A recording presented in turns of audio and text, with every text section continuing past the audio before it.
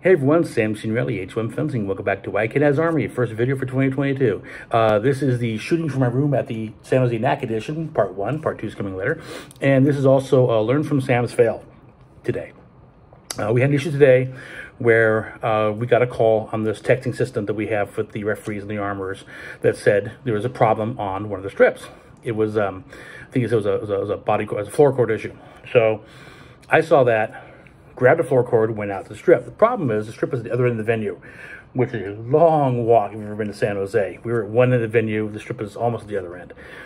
Got there, and the problem turned out to be not to be a floor cord initially, and I had to go back and grab a reel, grab another floor cord um, that didn't work, and then went back, grabbed another floor cord, another reel, tested them both, they both worked, went back to the strip, finally found one that worked, and uh, also there was a one of the reels had a break in the cable jacket, and one of the wires part was broken. That had to get fixed anyway.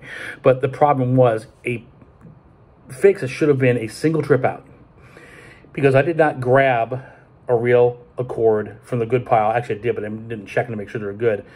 Didn't grab the, uh, more than just a, a floor cord. Didn't no tools, no spare other parts, and booked it out to a strip far away I slowed down action on that strip quite a bit. They finally moved to another strip next door and proceeded to get the pool going again. But that delay was all on me. Um, and I should have known better. I've done this before.